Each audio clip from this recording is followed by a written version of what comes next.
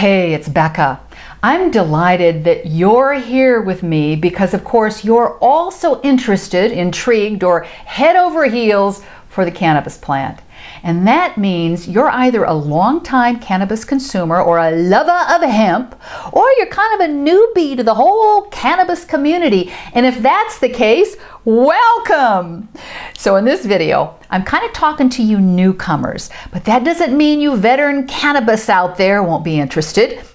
Anyway, I want to introduce you to a snapshot of what an established cannabis culture looks like. It's best represented by this once a year harvest festival in Northern California, the Emerald Cup.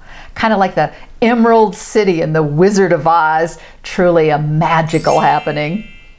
21,000 people crowded into the county fairgrounds in Santa Rosa last month, December 2015, for this annual event. At the heart of the Emerald Cup is a celebrated competition for the best of the best marijuana from Northern California. They have bragging rights in growing outdoors some of the best cannabis in the U.S. No, in the world. Three counties in Northern California, Humboldt, Mendocino, and Trinity make up this Emerald Triangle. So for about 50 years now, Northern California has built a dynamic community and economy around this plant. And the best place to get a glimpse of how a more mature cannabis community looks is at the Emerald Cup. These folks have been growing cannabis, albeit illegally, in a big way since the 1970s when San Francisco, just south of them, exploded with a hippie culture of peace and love, and people discovered that cannabis inspires that mindset.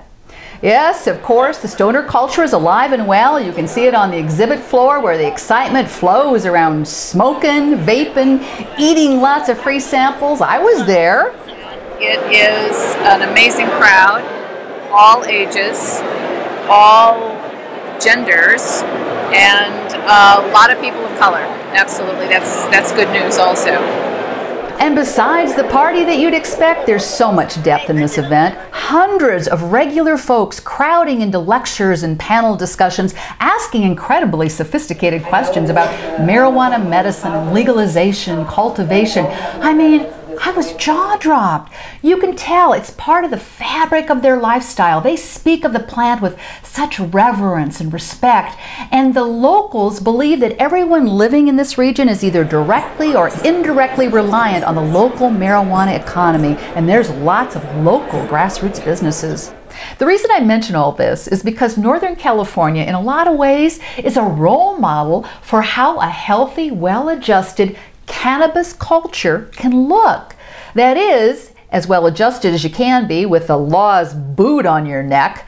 But it strikes me those folks in and near the Emerald Triangle have had time to develop their cannabis communities.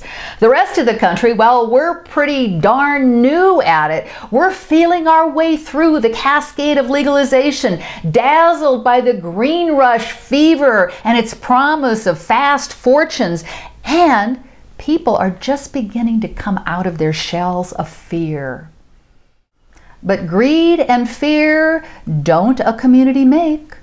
We have a long way to go toward creating a cohesive cannabis culture across all the communities in this big country of ours. And a key part of that is embracing one another in a spirit of respect and generosity so we can learn and heal together. So let's agree that it's really confidence building that our brothers and sisters on the West Coast can shine some light on how we integrate this remarkable cannabis plant into our lives. I'm Becca Williams. Thanks for joining me. You'll come back again. See you next time.